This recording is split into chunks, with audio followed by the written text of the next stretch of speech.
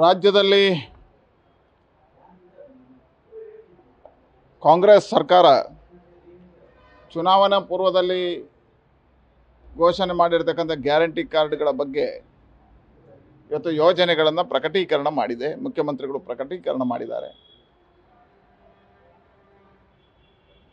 ಫಲಿತಾಂಶ ಬಂದು ಇಪ್ಪತ್ತ ನಾಲ್ಕು ಗಂಟೆಯಲ್ಲಿ ಘೋಷಣೆ ಮಾಡ್ತೇನೆ ಹೇಳಿರ್ತಕ್ಕಂಥ ಮುಖ್ಯಮಂತ್ರಿಗಳು. ಜನ ಮಾಧ್ಯಮಗಳ ಆಕ್ರೋಶದ ಮುಂದೆ ಇವತ್ತು ತಡವಾಗಿ ಘೋಷಣೆ ಮಾಡಿದ್ದಾರೆ, ಆದರೆ ಇದನ್ನು ನಾನು ಸ್ವಾಗತಿಸ್ತೇನೆ. ಒಂದು ಜನಪರವಾಗಿರ್ತಕ್ಕಂಥ ಯೋಜನೆಗಳನ್ನು ಘೋಷಣೆ ಮಾಡಿದ್ದಾರೆ. ಸ್ವಾಗತಿಸ್ತೇನೆ.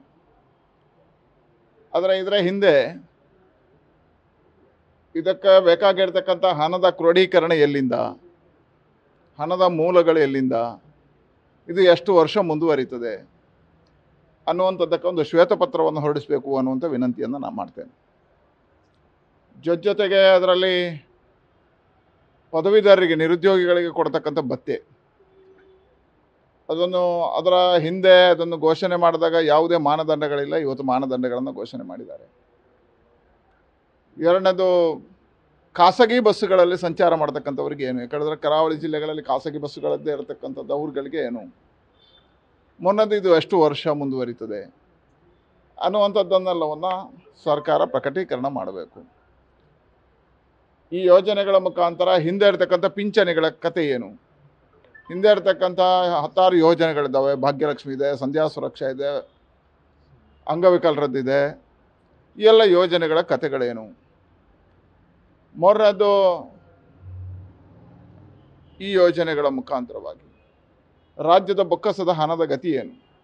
ಅದರ ಮುಂದಿನ ದಿನಗಳಲ್ಲಿ ಯಾರಿಗೂ ಹೊರೆ ಆಗಬಾರ್ದು. ಜನಸಾಮಾನ್ಯರಿಗೆ ಹೊರೆ ಆಗದ ರೀತಿಯಲ್ಲಿ ಹೇಗೆ ನಿಯಂತ್ರಣ ಮಾಡ್ತೀರಿ?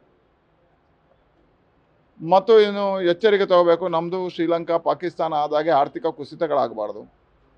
ಇದೆಲ್ಲವನ್ನು ಸರ್ಕಾರ ಗಮನದಲ್ಲಿಟ್ಕೊಂಡು ಮಾಡುತ್ತೆ ಅನ್ನತಕ್ಕಂಥ ವಿಶ್ವಾಸ ಇದೆ. ಅದನ್ನು ಮಾಡಲಿ. ಶ್ವೇತಪತ್ರ ಹೊರಡಿಸಲಿ. ಅನ್ನೋ ಹಣದ ಮೂಲದ ಇದನ್ನು ಹೇಳಲಿ ಅಂತ ಹೇಳ್ತಾ. ಇದರ ಜೊತೆಗೆ ಕೇವಲ ಚುನಾವಣೆಯ ಗಿಮಿಕ್ ಆಗಬಾರ್ದು. ಚುನಾವಣೆಯ ಫಲಿತಾಂಶಕ್ಕೋಸ್ಕರ ಮುಂದಿನ ಜಿಲ್ಲಾ panchayat, taluk panchayat B B M P ಚುನಾವಣೆ ಇಟ್ಕೊಂಡು ಈ ಯೋಜನೆ ಮಾಡಿದಾರ ಅನ್ನುವಂಥದ್ದು ಜನರಿಗೆ ಒಂದು ಸಂಶಯಗಳು ಕಾಡ್ತಾ ಇದ್ದಾವೆ. ಅದಕ್ಕೋಸ್ಕರ ಸರ್ಕಾರಕ್ಕೆ ಆಗ್ರಹ ಮಾಡ್ತೇನೆ. ಮೂಲ ಇದರ ಆದಾಯದ ಮೂಲಗಳನ್ನು ಶ್ವೇತಪತ್ರ ಮುಖಾಂತರ ಹೊರಡಿಸಬೇಕು.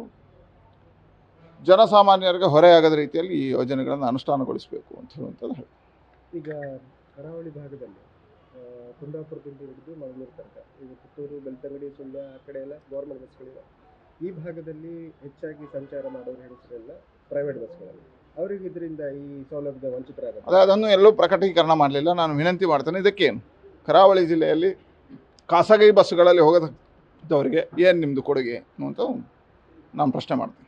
ನ್ಯೂಸ್ ಫಸ್ಟ್ ಪ್ರತಿಕ್ಷಣ ನಿಮ್ಮೊಂದಿಗೆ.